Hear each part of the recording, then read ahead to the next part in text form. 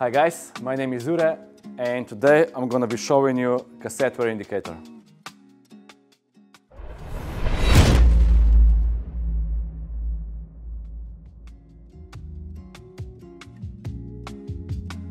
We're all familiar with replacing chains and with chain wear indicators, but do we regularly check our cassettes as well?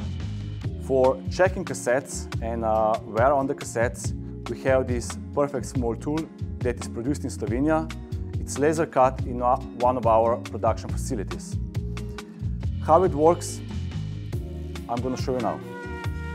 You place the tool on one of the cogs from the cassette, um, find the fitting, and then you apply a tension, apply a force of 10 kilos. What you need to check is the last chain pin. If this one fits in nice, that shows us that the cassette is in okay.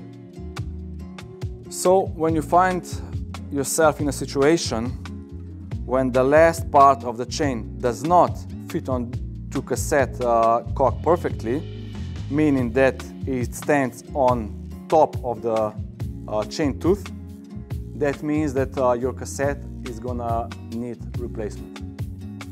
Third option would be also when you apply a force that the chain of the cassette wear indicator skips a complete cog of the cassette.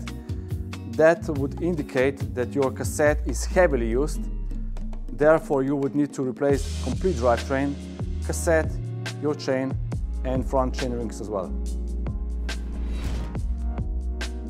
Thanks for watching how we use our cassette wear indicator. See you next time.